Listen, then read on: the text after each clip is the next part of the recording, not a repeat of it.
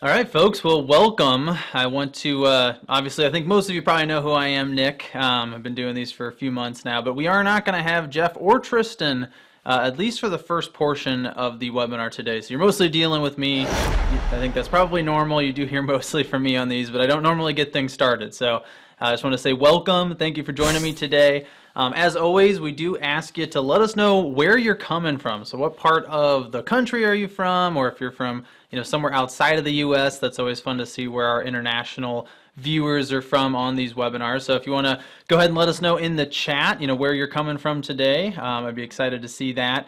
And then uh, just kind of a personal uh, interest here, because we're going to be talking all about Zoom.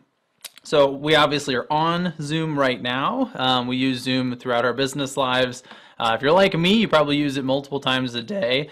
So I'm going to be showing you a lot of cool tips and tricks and kind of the different settings and how you should set up uh, for a Zoom call. But I'm curious, what are some of the problems that you've run into or maybe some of the questions that you have about Zoom? Since it's just me today, um, we've got a little bit more kind of back and forth. Um, I'd be happy to answer a few extra questions. I think we will have a little bit more time than normal. Um, but yeah, I'm curious, you know, what are some of, and, and I guess in particular, like what are some of the frustrations that you've had with Zoom. So what is maybe something that's happened that you didn't know how to fix um, or something you were trying to do but you couldn't figure out how to do it, like that kind of stuff would be really interesting to hear. Um, and if we have some time, you know, maybe we'll try to address a couple of those questions specifically. Obviously, as we're going through all of the stuff we're covering today, there's a good chance you're going to get an answer to that question um, kind of inadvertently from what we're all covering here today. So I'm gonna give it another, you know, give it one one to two more minutes to let a few more people hop on here. It seems like we've got about 100 on here on the Zoom end already at this point. So thank you so much for joining us. Um, if you did just jump on, it is just me, Nick Niehaus, with you today. Uh, Jeff is out of town, and Tristan, I think, is going to try to join us about halfway through. Um, but that does mean that we have a little bit more flexibility than normal. So if you do have any questions um, that you normally wouldn't be able to get in, you know, we might be able to cover them today. We are talking all about Zoom. So again, um, I was asking you if you have any issues, uh, what kind of issues do you run into with Zoom? All right, so I'm gonna check the, uh, ended up in Zoom with an animal logo. Okay, that's an interesting one. Um, how to get how to get leads comfortable using Zoom. Okay, so kind of how do you get other people a little more accustomed to using Zoom itself. Uh, looks like people have trouble with audio on video, so that is something I can uh, show you today. So that's one we can definitely answer. Uh, using a tablet seem to have less access to all the features. Okay, yep. So if you're on a tablet, you're probably gonna be on the mobile app, which does work a little bit differently. We'll see if we might be able to have it uh, some some a chance to adjust that. Uh, time limitations. Okay, so it's gonna be based on your your free account. Um, and then yeah, difference between paid Zoom paid Zoom account and the free account. Cool. So continue to ask those questions. Bring them in as you have them. I am going to go ahead and share my screen and we can get our presentation started. But what I'll try to do, um, normally, if you've been on these before, you know that we have an opportunity to have uh, Jeff or Tristan kind of feed me the questions as they come in. Um, so what we'll do is, is we'll change it up a little bit here. Um, as we're going, if uh, you have questions, make sure you put them into the chat or the Q&A. I will make sure to check both of those. Um, and I will try to just kind of keep up with those questions. There may be a point or two where I have to kind of pause, um, check the questions, answer a few, and then come back to the presentation. So let's go ahead and dive straight in here. So what we are going to be talking about today is Zoom, right? So if you're if you're like me, you're using a lot of Zoom in your life at this point. It's probably a pretty regular part of your business.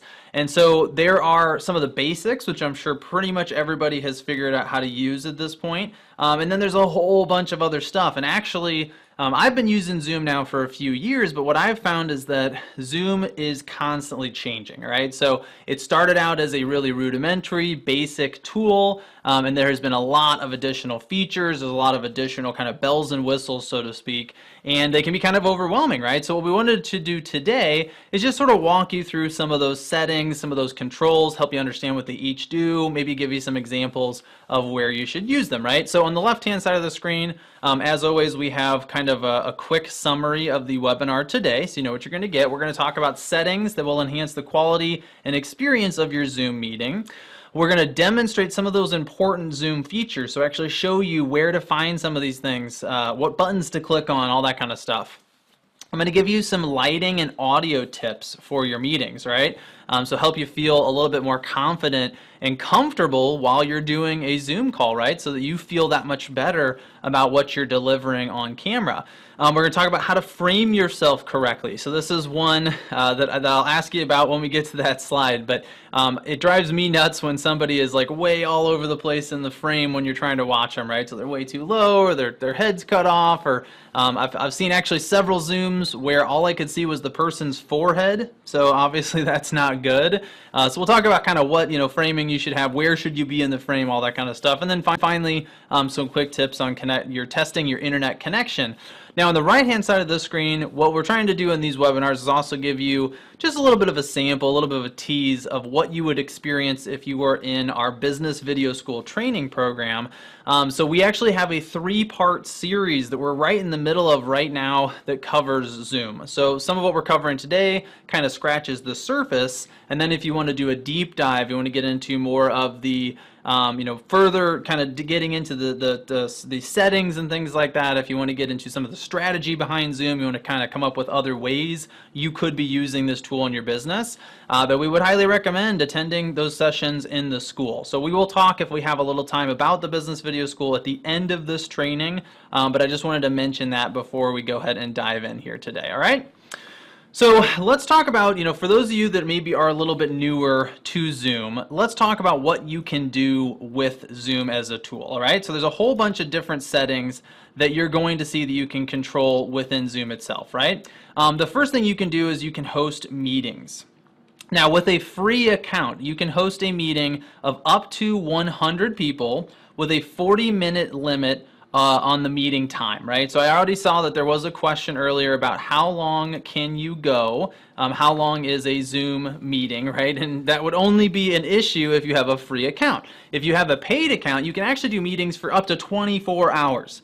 I really don't know why you would want to do a 24 hour meeting. That sounds absolutely terrible, right? Um, but it is possible, right? So if you have a paid account, you're going to be able to do meetings that are longer to that, but you can do up to 40 minutes without a paid account um, with up to 100 people, which I think is pretty generous on Zoom's part. That's pretty cool.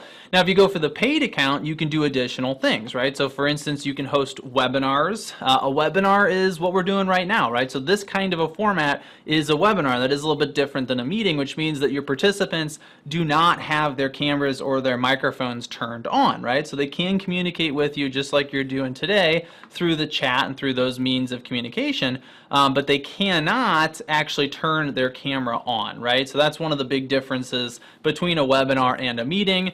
And then finally on the paid account, you can also record videos. So I've seen people starting to use that feature uh, more and more over time. And actually, as you know, we always record uh, these Zoom presentations as well. So that is a really cool feature. Um, but some people are actually recording things using Zoom that is never streamed, right? So they're basically just getting on and they're having a one-on-one -on -one conversation. They're doing kind of an interview style video and they're recording it using Zoom, um, but they're not actually broadcasting it. So that is an interesting aspect of Zoom is that you can record the meetings or the webinars that you're hosting, all right? Now here's the first kind of getting into um, some of the settings, some of the stuff that you can be using here. Once I get through this slide, I think I'll pause and take a second to answer some of the questions because I do see quite a few of those coming in here. Um, but there's a few settings that I want to cover, right? Now, if we have time at the end of this webinar today, I will go into the actual Zoom settings and I'll go through and I'll show you where all of the buttons that you click on are for this, all right? But for the purposes of what we're doing, I'm just going to run through these really quickly because we do have a lot to cover as you go into your settings, right? So if you log into your Zoom account, you're going to see on the left-hand side, you've got your meetings, you got your webinar, you also have your settings option. And what you're going to want to do is go into your settings, and if you scroll through, you'll find each and every single one of these different settings. And this is stuff that you can control before you ever schedule a meeting or a webinar, right? So this is stuff you're going to be controlling in advance of actually turning on a Zoom meeting, right? So a few things you can do. Number one is that you can require a password, all right? Now, I would prefer, I would actually really recommend that you do not require a password, all right? Now, you can require a password if you want more security, but the problem is if you have a password, then people have to remember the password, they have to save it somewhere, you're gonna create headaches, right? You're gonna create a situation where people are reaching out at the last second, asking for the password because they can't get onto the meeting um, or the webinar, right? So I would personally recommend, unless you are specifically concerned about security, if you're gonna be discussing things that are maybe a sensitive topic, in most cases, I would not require a password because it's just gonna make things more confusing and it's gonna be that much harder to get on, right? Now, if you're doing a meeting, you may want to turn on what's called a waiting room, all right? So a waiting room is going to be the fact that when people first join the meeting, they are not automatically allowed to enter that meeting. They're going to be held in a separate room, and you have to admit them one at a time, right? Now you can, there's a button you can click that just admits everybody who's in the waiting room all at once, and that's fine, right? But what that does is it means that you're not going to accidentally have people that jump on the meeting ahead of time and are talking to each other, right? You're not going to have a situation where um, one or two people are on there in advance and then you show up and they're already in the meeting, they're already having a conversation. Maybe they even start the meeting without you because they're confused about how things are supposed to work. So a waiting room can be really useful so you can have everybody enter the meeting right at the exact same moment um, but that they know the meeting is going to start on time, right? So that's a nice feature. Um, another one is you can turn the participants, sorry, the participants video on or off, right? So this is one you have to think about. When people first enter the meeting, you can have it set up when you schedule the meeting so that their cameras are turned on or off, right? The same thing goes for their audio. Now, you probably want to, just to be safe in most cases, have the camera turned off when the meeting starts, right? Some people don't realize um, that this stuff happens, and so they might actually be doing something in front of the camera uh, that they maybe shouldn't be doing, and so if you have the camera defaulted to turning on, you're going to run into that potential issue. Now, that being said, there's the other side of the coin, so to speak, which is that some people have a lot of trouble with any settings. You might say, hey, push the button in the bottom left corner of the screen, and they still will not be able to find it. So in that case, if you're dealing with people that are a little bit less technologically savvy, you may want to have that stuff turned on, right? You actually might want to have the meeting participants' cameras and audio defaulted to turning on as soon as they join the meeting because that's going to skip steps, right? They're more likely to simply join and have everything in the right place, right? So especially if you're dealing with somebody um, who's maybe a little bit older, maybe has a little bit of a tough time with technology, maybe go ahead and leave that one turned on so that they automatically have their camera turned on and you don't have to explain to them how to figure out how to do it, right? Um, another one that's really cool here is you actually can have a personal meeting ID.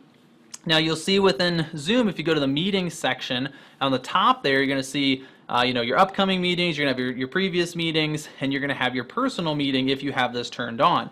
And what's cool about the personal meeting ID is it creates a dedicated room that's just your personal room that people can join at any time. So if you have recurring meetings, if you have people that you meet with on a regular schedule, um, or people that you're meeting with multiple times a week, you may want to have this personal meeting room ID, which they can use over and over again. Anytime they use that ID, they're always joining the exact same room, and it's a room that exists at any time. Now, you still have to start the meeting, so if you don't start a meeting, they don't necessarily get together and, and have a meeting in your room without you but it does give you something where you're not having to constantly invite people to a new meeting. Once they have that ID, they just have to put it in and they'll be able to join your meeting room at any time, right? So that's a cool one. Another one you can turn off or on, a lot of people don't realize that you can control this, is you can control whether or not the chat is available. So in some cases you're going to want to have the chat turned on. I would recommend defaulting to that situation. Um, but it is something that you may not always want to have people to have access to. Maybe you don't want to have the chat because you don't want people talking to each other while the meeting's going on, right? Maybe you want to avoid kind of those side conversations. That is something you can turn off on, right? Um, you can also have file transfer turned on, right? This is really cool. If you're having a meeting and you want to be able to exchange files with people, that's something you can do directly through Zoom, right? You don't have to come up with a workaround. You don't have to upload it to Google Drive or go somewhere else and deal with it. So that can be pretty nice. Um, you may want to add co-hosts. And again, I know I'm going through quite a bit on this slide, uh, but there are going to be more demonstration slides after this. These are just some settings we needed to cover first. Um, but you might want to have co-host turned on. Now, where would you maybe not want to have co-host turned on? The only time I can imagine not having the option available, because this is about having things available to you when you start the meeting. The only time I would maybe do that is if you know for sure you're the only person that's going to be talking during that meeting, right? If that's the case, maybe you don't need co-hosts, but I've never really seen a reason not to have that feature turned on so that if I need to, I can make someone else a co-host during the meeting, right? So if I'm having a meeting and um, you know, I have to take a phone call, for instance, I need somebody else to take over and control the slides for a few minutes, I can add them as a co-host and I can make that adjustment and that's super simple, right? So you may want to have that one turned on at all time. Um, allowing screen sharing, that's a no-brainer. You want to allow for that, allowing virtual backgrounds, allowing live streaming, and then ultimately um, enabling group HD video is another setting that you probably want to go ahead and find and turn on that allows your meeting participants to have full HD quality video. If you don't turn that on, it's actually going to default to being a lower quality to save bandwidth as you're streaming, all right? So just a whole bunch of different settings there. I know that is quite a lot to cover. Um, we try to pack these these webinars here with a lot of information as much as possible, so I apologize if that's a little bit more um, than, than you were ready for this morning, but everything else, or said this afternoon, everything else is going to be moving uh, a little bit less aggressively there. So let's go ahead and dive into some of this here. Okay, so at this point what we're going to do so the first thing I wanted to do and just kind of kind of fly through was just all the settings you have within Zoom before you create a meeting right? But what we're going to show you now and what I'm going to take a little bit more time to explain because I think this is the stuff that people are probably going to experience more themselves is the actual controls during a meeting or webinar okay so that's what you see on the screen here is that right now what you are seeing across the bottom, and I, I, think you can probably see my mouse here, so I'm going to try to drag my mouse across the bottom, but we're looking at this bottom section right here, okay? And that is all of the controls, if you have set up the controls the way I just talked about them, that you're going to have access to across the bottom of the screen, right? Um, and so we're going to do now is we're going to walk through those controls one at a time and show you what each of them do and the different things that you have control over during one of your Zoom meetings or webinars, okay? So let's start with the very first option, which is the audio down here in the bottom left-hand corner, right? Um, so right now, if, if you're looking at your screen, you may actually see some of these controls as a viewer during a Zoom webinar, right? Um, but audio, what we're going to do is if you were to come down to the audio icon, right, looks like a little pair of headphones, and you click on the little arrow right next to it, right? It's just a little up and down kind of symbol, little, uh, little arrow icon, right? That is going to open up a menu and then you can click on audio settings. And what that's going to do is going to open up this screen you hear you have here in front of you. And actually if you want to play along at home with some of this stuff I'm not sure that you'll have all of these options available while you're just simply viewing a webinar um, but if you want you can go ahead and play with these at home just to kind of see how they work. Now the first thing you're going to be able to control here um, is your speaker volume right so that's number one. At the top here, you're going to see where it says speaker, and right next to it, it says test speaker. And it's going to give you a drop-down menu where you can choose which speaker you want to play the audio from the webinar, right? So if I want, if I have headphones on and I want the, the audio to come through those, I need to make sure that I select the headphones, right? If I have, uh, you know, external speakers and I want to use those, I got to make sure those are plugged in and I have them selected. So if at any point in time you're not getting audio, right? There's there's a couple things I've seen happen. One, one of the most common issues people have if they're not hearing audio during a Zoom meeting is that they have an they have another form of speaker that's selected here, right? So for instance, if you have Bluetooth headphones and they're turned on, but you're not trying to use them, there's always a chance that it automatically connected to and selected the headphones as your audio uh, speaker, right? So if that happens, you might you might be having there's a set of headphones across the room where the audio is coming out and you can't hear it, right? So keep that in mind, especially if you have a Bluetooth device. That is very common. You might have to watch out for that, right? So here you can test your speakers as well. You can play sound through them, make sure they're working correctly, and you can also control your output volume. So if you want to increase or decrease, it should be the same volume control as you would use for your entire computer, um, but that is one place where you can control it. So that's the first thing you can control. The second thing is the microphone. This one is super important, okay? You gotta make sure you have the right microphone selected, and you also need to make sure that your input volume is set correctly, all right? Now, this is another one of these things that I think a lot of people have never tried to experiment with, and they have a lot more control than they realize.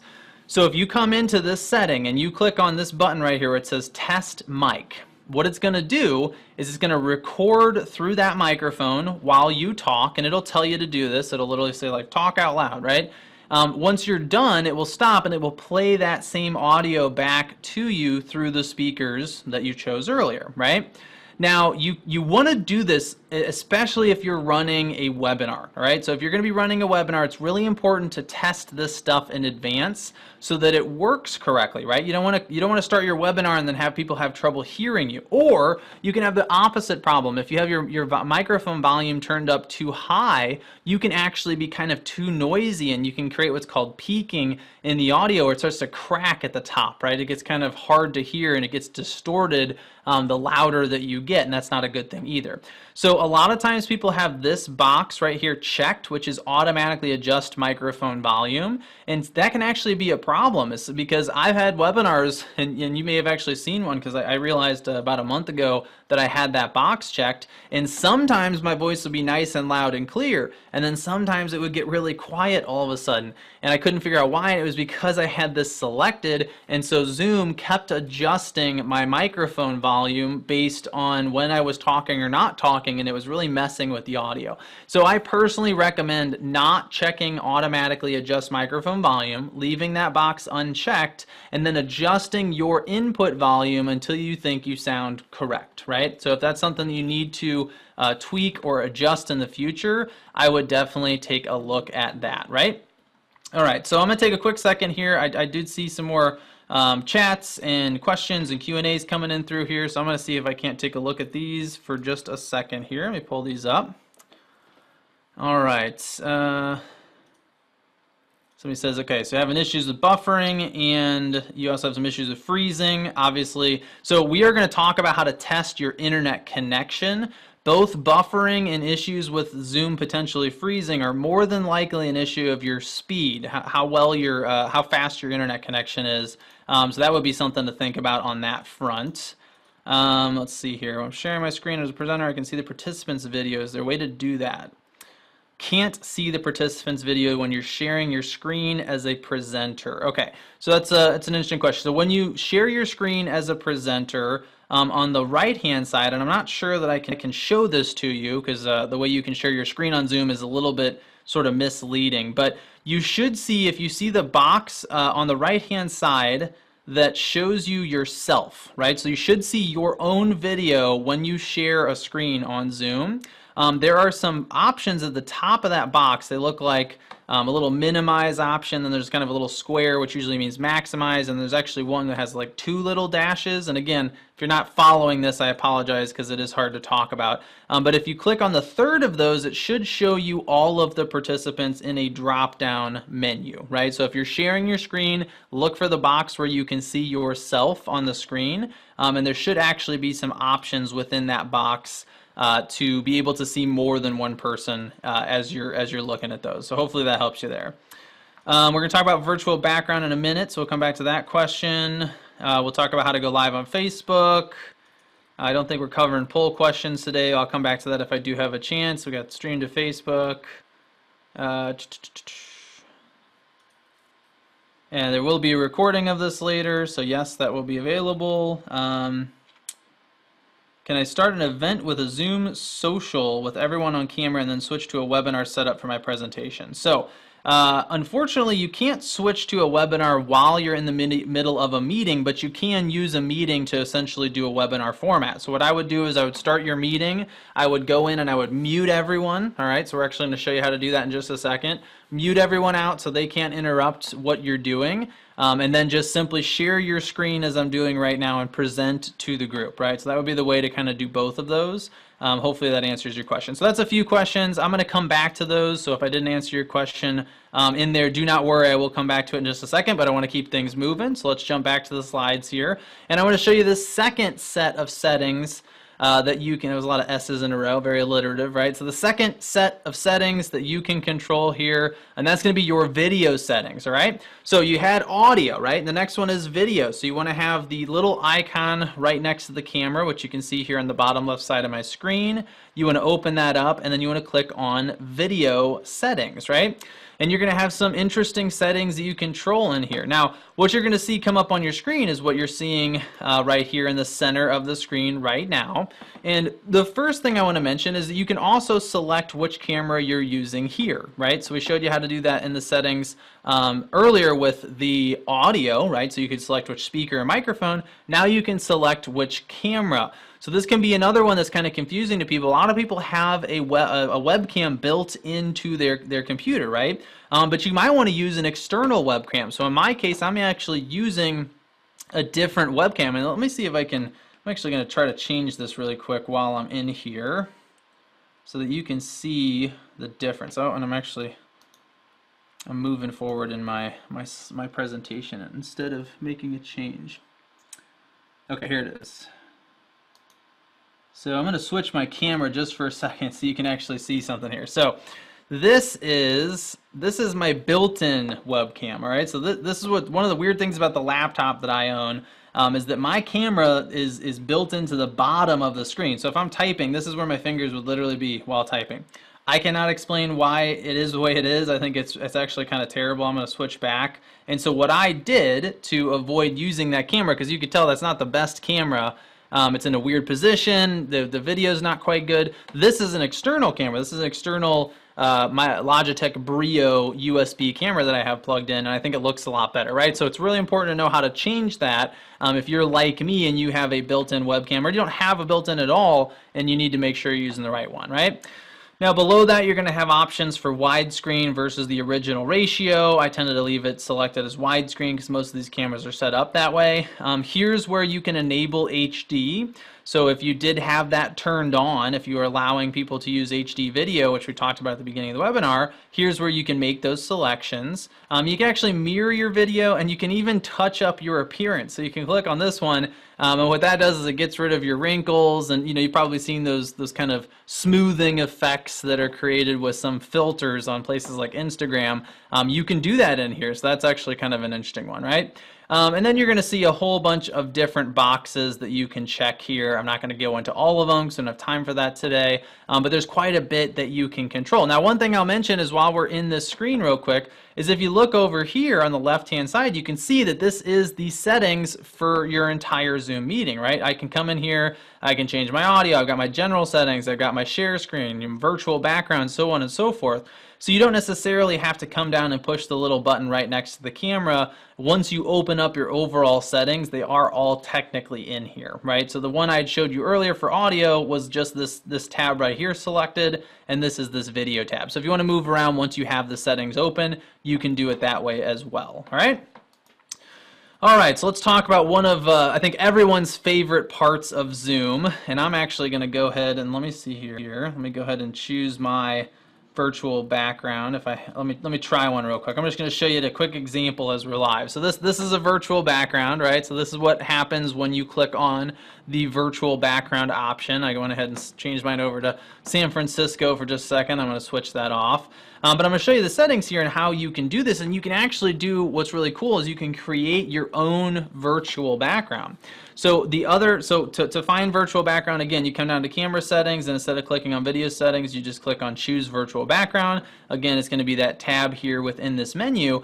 And they're to give you, I think it's five that are built in. They give you these three, and then these two are actually short little videos that play on loops. You can even use a video as your background. And so what Zoom does is it, it kind of does its best guess. So you can see from this picture here, um, it's got a little bit around my ears where it's not quite cutting everything out behind me. So it's not perfect, but it's going to do its best guess. It's going to remove you and your body from the image, and it's going to replace whatever's behind you with one of these options, right? Um, you can even set up green screen if you want it to work that much better. You are not required to have green screen. You can use a virtual background without them. Um, but these are really cool. So again, if you want to try one of these, you just want to open up your settings, come over to virtual background, and you've got these five you can select from. But if you click on this little plus icon right here, you can upload anything you want. So just to give you a way you can do this, if you go to Canva, C-A-N-V-A dot com, canva.com, that's where you can go um, to create your own virtual background. So you can actually create these pictures that looks like an office and you can put your logo on the wall or you can add, you know, whatever, really all, all whatever you can imagine you can create a virtual background of um, and you can install that here within the system. So that's pretty cool. So I always thought um, that was particularly useful and might be, might be worth sharing with you, all right? So um, that brings us to our first slide that is about how you can sign up to learn more about what we're doing and get the webinar slides and all kinds of good stuff. So I want to take a second to talk about this and then I'm going to answer a few more of your questions, all right? So first thing is, uh, do you want the webinar slides? So if you're watching this right now, you feel like, yes, I'd like a copy of those slides, um, you're going to need to sign up for this list. The second reason, the more important reason in my opinion to sign up on our list here is that we are going to send you free advice on how to make videos for your business, right? So the name of our company is Business Video School. We teach real estate agents and small business owners how to use video in their business to save time and make more money. And so if you're curious to do that, if you want to start using video or you want to learn how video could be impacting your business, you're definitely going to want to sign up for this email list, okay? What we're going to do is for the first two weeks, you are going to get a free video tip every single day in your email inbox, right?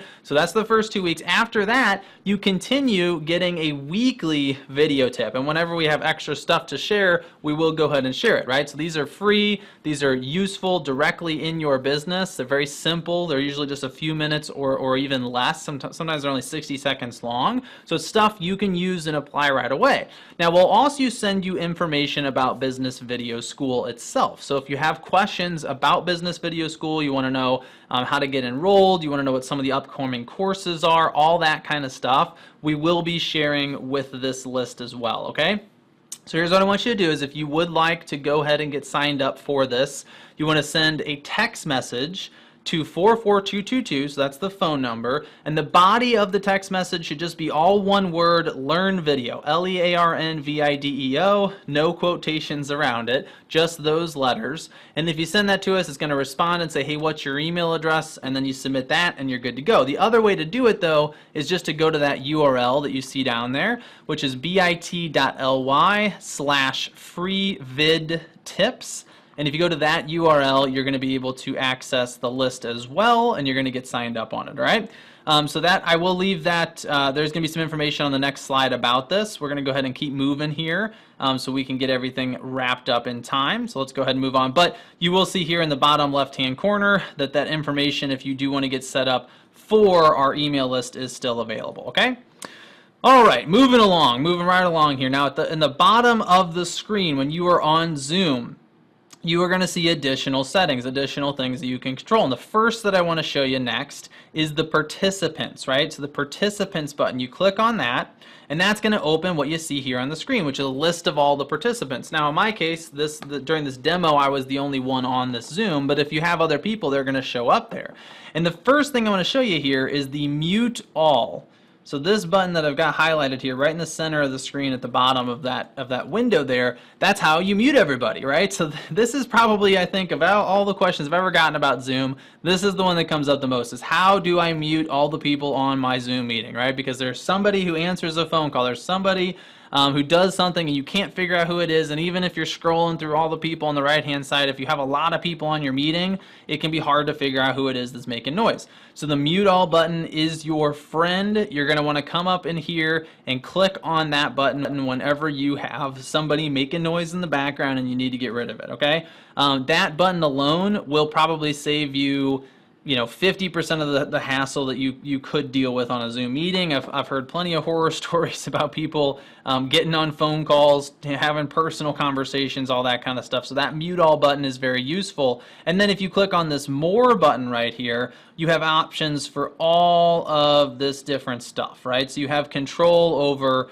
uh, what the participants, what the attendees are allowed to do. Can they raise their hand? Uh, can they view the participant count? In other words, can they see how many people are on your meeting? Um, you can mute them all upon entry all kinds of interesting stuff here, right? So I'm gonna, I'm gonna leave this on the screen for just a second. You guys can continue reading through that. I am gonna go ahead and pull up the chat um, for just a minute and see what kind of queue uh, questions and stuff we got coming in here. So let me read through a few more of those.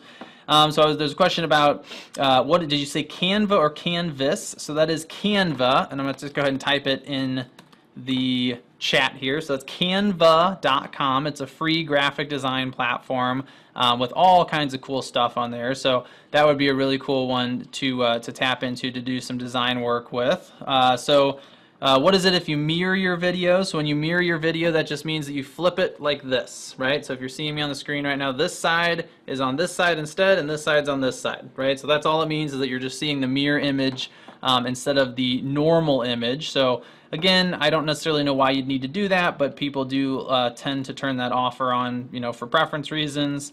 Um, let's see.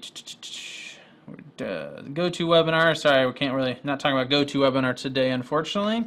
Um, comma, so presentation will be saved. That is true. All right, we talked about the gallery setting. Sorry, and I, and I apologize. I'm probably, I'm, I'm realizing, going to miss a few of these questions. Um, somebody's having the virtual background show up over your face, so I apologize for that. Uh, what's happening if that, if that, so if you do have part of your body get cut off when you create a virtual background, what's happening is that Zoom is not recognizing that as part of you. and it's actually thinking that that must be part of the background and it's getting rid of it. Um, I have, I've never heard of that before. That's actually the first time I've heard of that. So I don't necessarily have a recommendation for you, but you might want to turn on some lights, right? So one of the things that Zoom is going to need in order to determine what is or is not the background is going to be need to be able to see your face clearly and your body. Um, so if you have an issue with that, if, if the background is kind of covering you up or something like that, um, you may want to consider getting some lighting and putting some lighting up so that your face is a little bit more clear uh, to the camera. That could be the issue. Um, and it says, does it mute them if they're on their cell phone too? So if you mute people, it should mute no, them no matter what their source is. Um, so that should get should take care of that issue. Um, somebody said the the lead digit identifier not recognized when I text to 44222. So I'm going to go ahead and copy over the uh, the a couple useful links for you all here in just a second. Let me actually I'm going to stop the uh, share for just a second so I can go ahead and grab this link for you. So uh, while I'm doing that, let me see if there's any other questions that I can answer. Actually, I'm having... Let's see here. Sorry, and I apologize. You know, normally I've got Jeff and Tristan here to feed me um, all of the responses and whatnot, all the questions. Uh,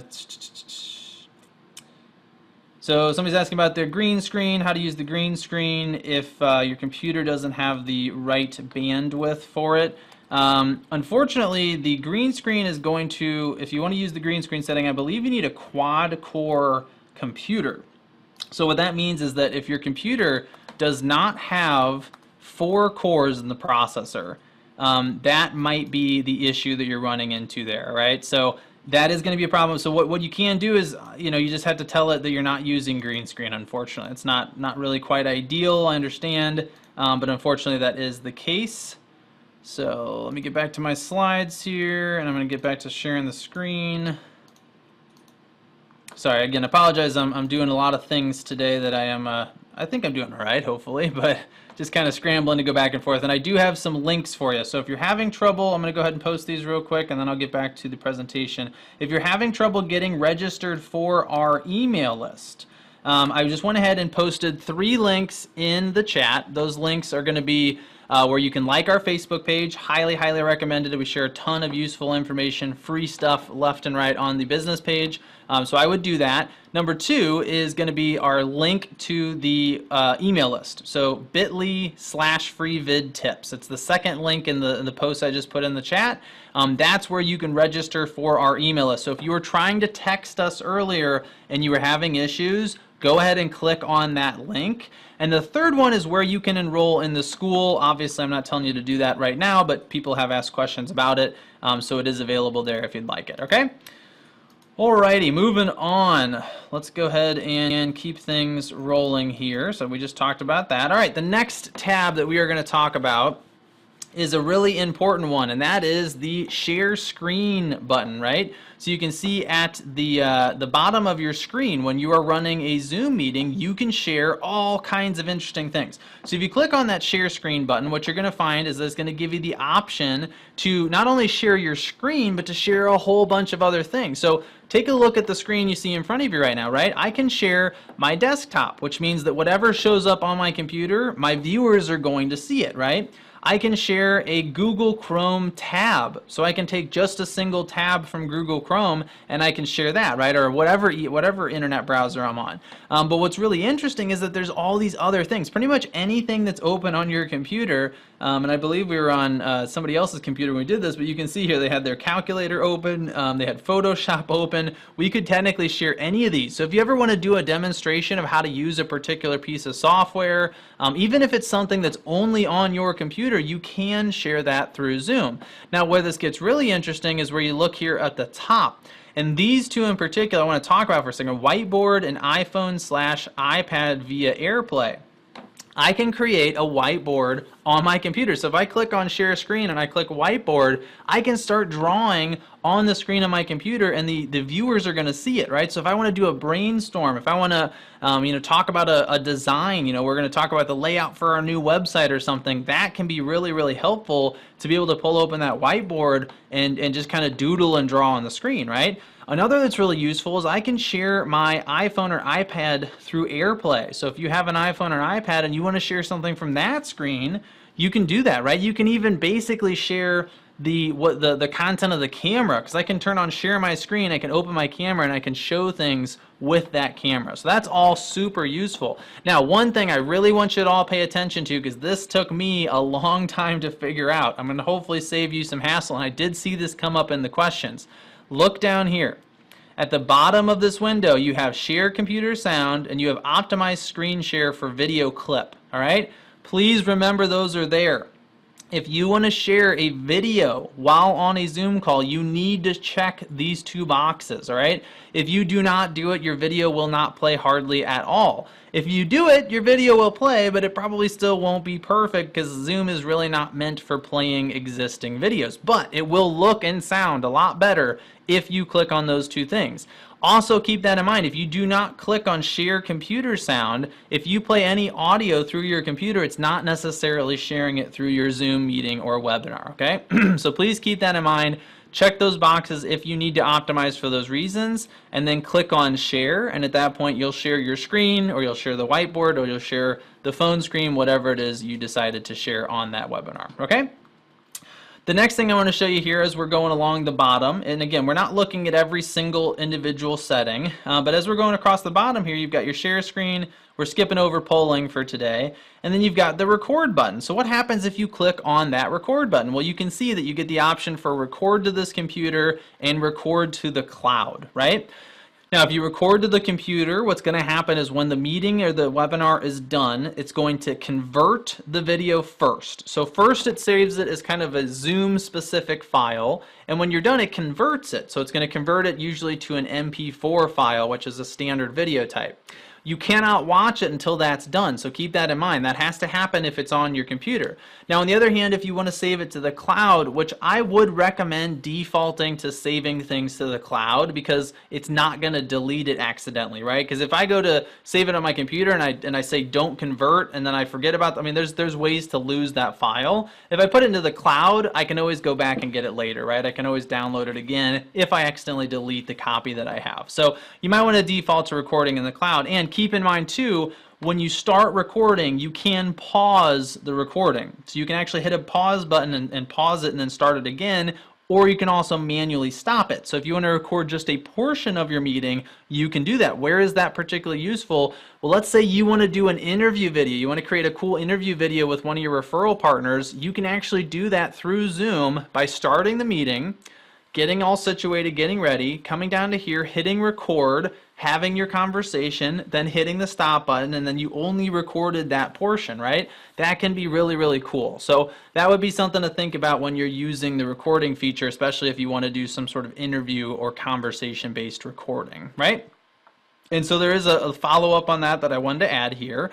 Um, which is a lot of people ask us if I am going to do an interview, because this is a kind of video that's getting really popular. I do recommend giving it a try. It's one of the easier forms of content that you can create for your business is to just simply interview someone. But if you're doing it, a lot of times people ask, how do I how do I get it so that both of us are on the screen? Okay? Now, when you are recording, so if you're the person controlling the recording, it's going to use the settings that you're using on your end, okay? So what I mean by that is that if there's more than one person, you're gonna have the option between speaker view and gallery view.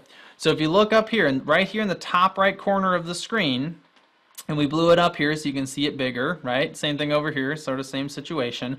You have these options between speaker view and gallery view. If you're on speaker view, only the person who's talking shows up on the screen, all right? If you're in gallery view, everyone, or as many people as will fit onto the screen, will show up on the screen. So if you're doing an interview, you might want to keep it on maybe speaker view because you only want the person who's talking to show up, right? Or you might want to do gallery view. Or if you really want to get fancy, which I've done a few times, you can switch back and forth between the two. So for a while, you can have just the speaker, and then maybe if they're getting kind of long-winded and they're kind of talking for more than 30 seconds or so, you can switch to gallery view. Now you can see both of you. Maybe switch back to speaker, right? So you actually have control over that. Um, if you want to keep it simple, just turn it on one of those and just leave it there. If I was going to default to one or the other, I'd probably leave it on gallery view so that you can see both people the whole time. It just makes it a little bit more visually interesting, but that is something that you have control over. Um, definitely worth keeping that in mind, okay? And then finally, in terms of the settings here at the bottom of the screen, while you are uh, doing a meeting or a webinar, the last thing you have is this more button, and that's where you can go live on these platforms. So you can go live on Facebook, you can go live on Workplace for, for Facebook. I've never used Workplace, but if you do use it in your business, that is something you can do. And you can also, also go live on YouTube, all right? So if you click on that, I just want to show you what would happen. The first thing that's going to happen is it gives you this screen here in the top left-hand corner. You can choose if you want to share it on your timeline, if you want to share it to a group, you want to share it on a friend's timeline, you have a bunch of different options. And then once you select which of those you want and click next, it is going to show you this next screen here, which is a preview window. You do need to write a title and description. So that's for the Facebook post version of the of the stream, right? So you write out a title, write out a description. And then here's the thing. Keep this in mind. This is important to remember, okay?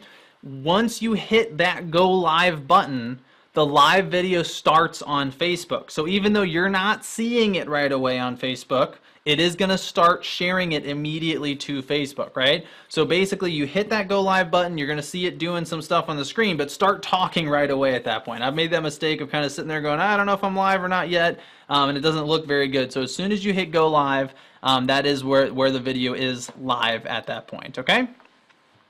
All right, so we got a few slides left. I do see more questions rolling in, so I'm going to take a break to answer those in just a second. I do want to talk really, really quickly um, about some lighting and some audio uh, kind of kind of tips and tricks to make yourself look better, right?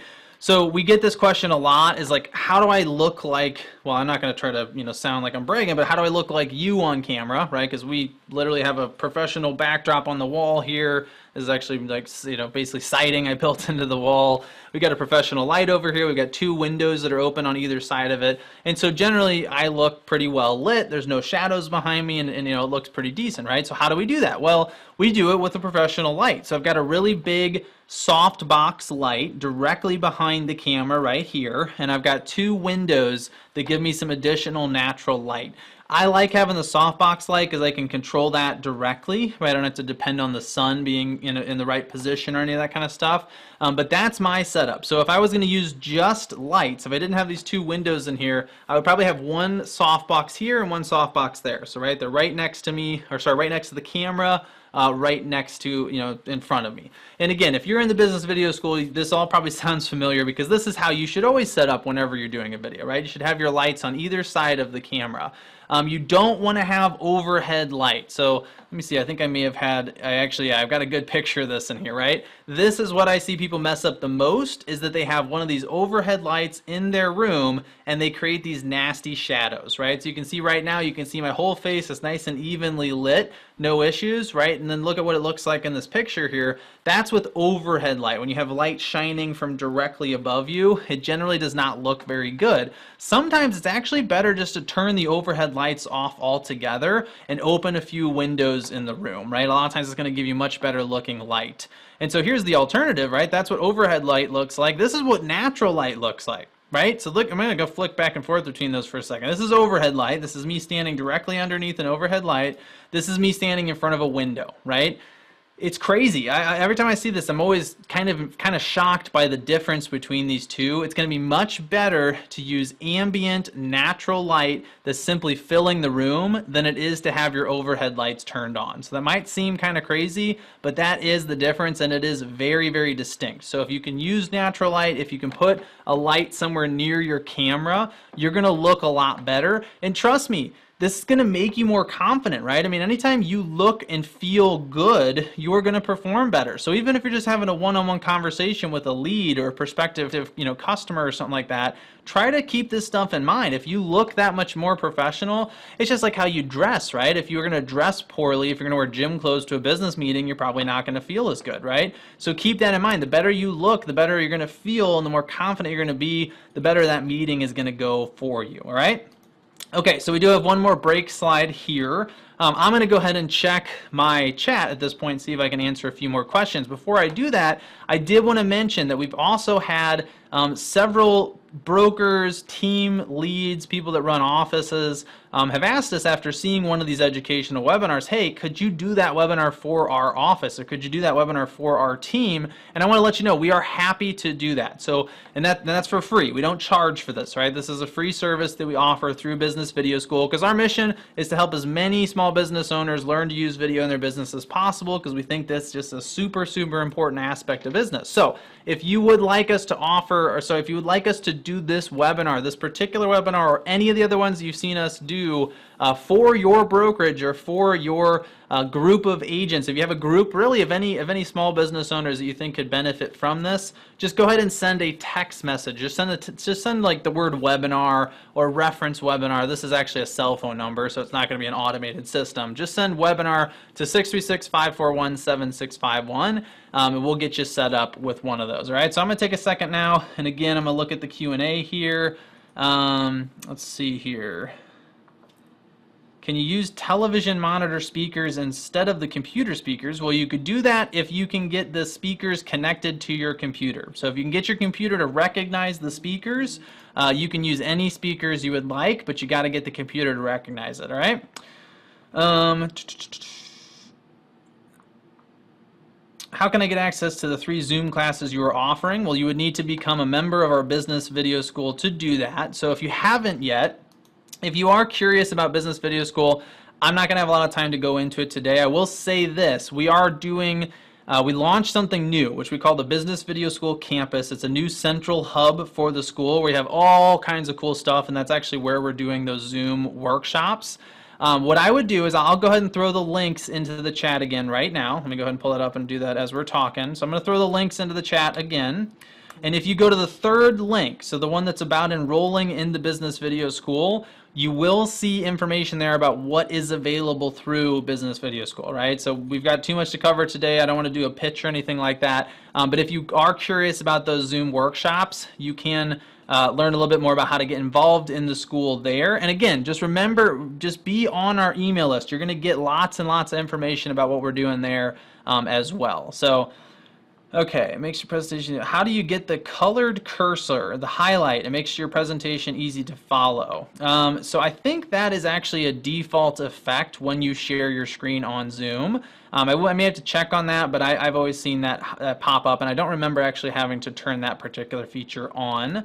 Uh, but again, I, I, will look into that, and I will try to try to mention that next time we're on the webinar here, because that's something I'd like to confirm as well. Um, old version. I want to group background, but it doesn't show the virtual backgrounds tab. Okay, so that is a good question. Zoom has a lot of versions. So if you're seeing some settings or some controls that you're not used to seeing, um, that could be why. There are lots of different versions of Zoom, and it updates like every couple weeks, right? Um, so if you do not see the uh, the links, please make sure that you are um, you're on the most up to date version. Okay, and I just realized I, I, wasn't always checking the chat here. I, I believe I was only sending the links to just the panelists, and none of you are panelists, so nobody was getting them. So now you should see them. All right. So I apologize. I know that was probably kind of frustrating. Um, again, trying to kind of do multiple jobs here today, but you should see the links now. So if you do not see those links, uh, please make sure you let me know.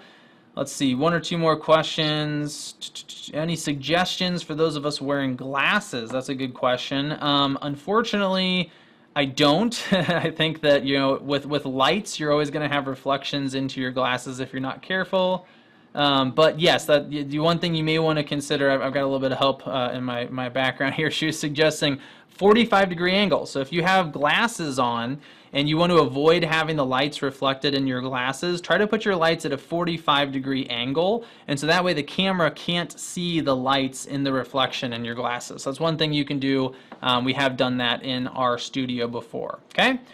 All right. So it looks like, um, I'm gonna I'm gonna come back to these questions here. I know there definitely are more, but we do have a, a few more slides to cover, and I want to make sure some of our slides address some of the questions. I just don't want to be repeating things for no reason. So the next thing was audio, right? Which we talked a little bit about how to control the audio settings, um, but I did want to show you some simple audio tricks, a few things that you can kind of do to make sure your audio is coming through as clearly as possible. Um, the first thing is you just want to make sure that you do a microphone check, right? So when I showed you how to do that little test at the beginning, right, where you can talk and then it's going to play it back to you, just do that every single time. Do that before every single meeting. You never know. There's going to be one time where you don't have something plugged in right. There's going to be one time where you bumped your microphone and you, you accidentally reset the volume on it, right? So you might think everything's fine and, and people could hardly hear you or they can hear you and it's way too loud, right? So you definitely want to do a microphone check every time. I would recommend looking into an external microphone of some kind, right? So the built-in microphone in your computer is not bad. For the purpose of most meetings, you're probably fine. But if you're going to be doing presenting, right, if you're going to be, be speaking to people, you might want to invest in a better mic. Now, that all being said, your internet connection, all these other things come into play too. So you may have really good equipment and not necessarily have something great come out of the other end. You can't control everything, right? So keep that in mind. There's only so much you can really do here, but there are some things you can do. Now in this case, you can see I'm going to pull it down for just a second. This is my overhead microphone, and actually as that as that moved, I may have sounded a little bit different.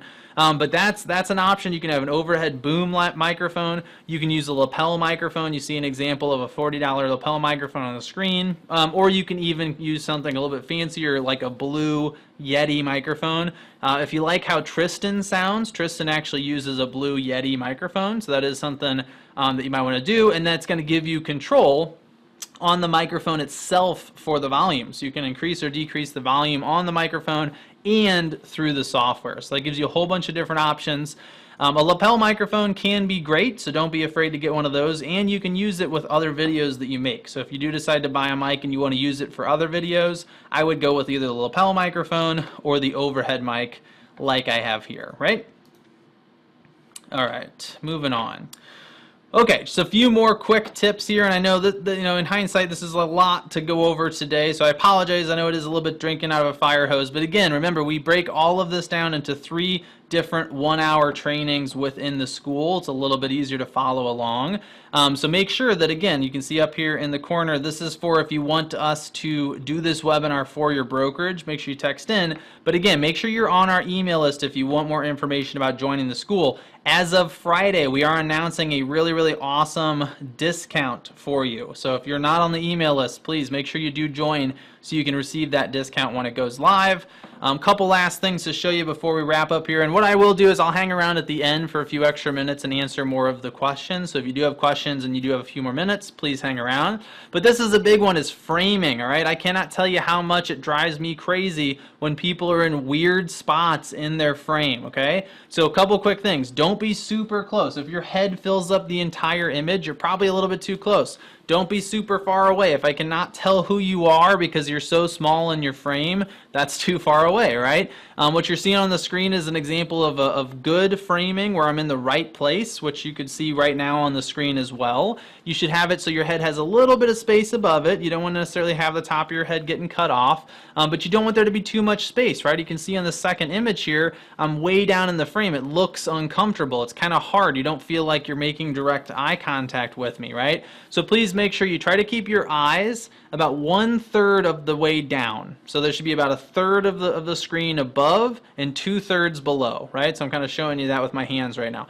That's kind of where you want your eyes to be is at the one third mark on the screen. And if you do that, you're going to look that much better. Again, it's going to make you feel that much more confident. You're going to do a much better job on your presentation if you are framed correctly. Okay, so just some, some quick tips there in terms of what you're looking like. And then finally, and I do believe this is my last slide, so I, I got this done in time. I'm actually kind of kind of surprised by that. Um, but finally here, and this is really important, is please try to test your internet connection whenever you can ahead of time. There's a good chance if you if you're having issues, right? So your your quality's you know not very good, you're having problems with things cutting in and out. It's probably because of your internet connection, right? It's really important that you have two things here enough speed. You need an internet connection that's got enough speed, right? You need a, you need a minimum of 0.6 megabits per second. Um, really, 2.5 megabits upload and download is, is what you're ideally looking for. The more, the better, but that's what you need at a bare, kind of a bare minimum. Um, so speed is important, but the other thing that's important is that your internet connection doesn't cut in and out. So if you're in like a rural area or you're in an area where um, you know, sometimes the internet gets throttled for some reason, which is one of the things these companies are doing now. That could be your problem, right? So you might be trying to replace technology and, you know, buy a better camera or microphone or all this kind of stuff, and it might actually be an issue with your internet connection, right? So if you've had issues like that and you've never connected or you never tested your speed, um, you can go to www.speedtest.net. Um, if you just Google internet speed test, I think Google actually has one built into their, their search browser, so it'll just pop up as the first result, and you, you hit run test, and you're good to go. Um, but I would really recommend doing that because that might be your problem. One other bit of advice here, and then I'll get into some of your questions, is that um, if you think you're having an issue with your internet, go ahead and plug your computer into your Ethernet directly, right? We're all very used to using Wi-Fi, and Wi-Fi is great, but Wi-Fi a lot of times is a slower connection than being directly plugged into the Ethernet port, right? So go find your router, go find that that box that's connected to the, the Wi-Fi router, right? Find where it goes into the wall and, and switch in your computer. A lot of times uh, there's a switch there with multiple Ethernet ports you can plug into one of them, right? So try that out and see if it improves your quality because if it does, then you're determining that it's actually your Wi-Fi, not necessarily your internet directly. So just a couple quick tips there um, on a few things you can do to improve uh, the quality of your stream by looking at the speed and the consistency of your internet connection, all right? All right, so I got a final slide here for you, which is just that information again on where you can get your free video tips. You can get the slides from today. Um, you can follow our Facebook page. Please, please do that. Uh, we post all kinds of great stuff there. We'd love to have your support on our Facebook page. Um, and then finally, obviously, you have an, a link where you can enroll in the Business Video School. So I, I did not have any time to talk about the Business Video School specifically today, but you will receive emails about it if you do sign up. So if you're not on that email list, make sure you're on there because we will be telling you about this offer. Um, I can't publicly say anything about it yet, but it is coming out this Friday. It's a really, really good discount. It's a one-time only type of deal. We're not going to ever do it again. Um, so if you are curious about that, please make sure you're on our list, all right?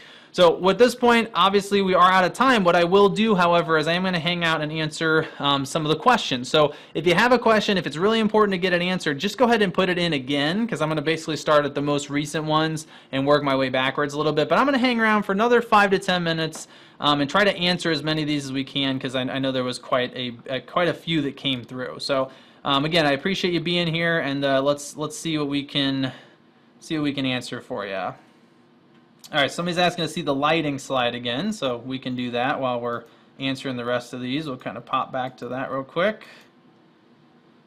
Uh, one more. Okay, there's your lighting slide. So asking about the business Zoom uh, boot camp or, or our three our three trainings. So I'm gonna again post the links one more time here. Again, make sure you on that second link. I'm just gonna go ahead and copy and paste that as well because that's the exact one you need. I'm gonna paste the link right now this link bit.ly slash free vid tips that's where you register for our email list and that is where you'll get more information about how to in, how to join the school um, so if you do join that just make sure that you are checking there as, as on a regular basis all right, uh, how about using AirPods for listening and speaking as well? So that's a good question.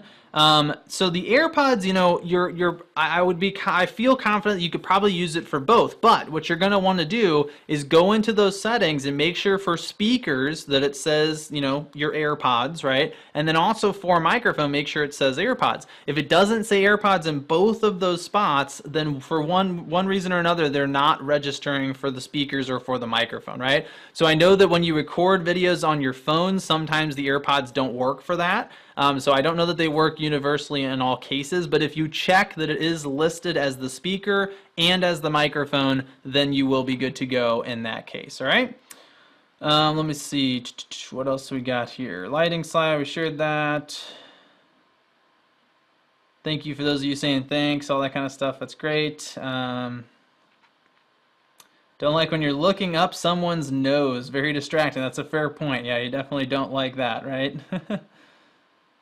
Uh, okay, so video replay. So there will be a replay of this available through Lab Coat Agents uh, on the YouTube channel. So if you're not following Lab Coat Agents on YouTube, please make sure to do that.